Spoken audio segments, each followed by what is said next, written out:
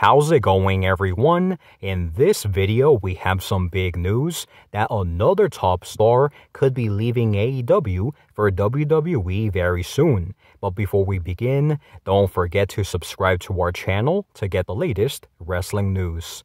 Alright guys, so in the last few weeks, AEW has parted ways with several stars. Well now it looks like another star who has been with AEW since 2021 could be leaving very soon.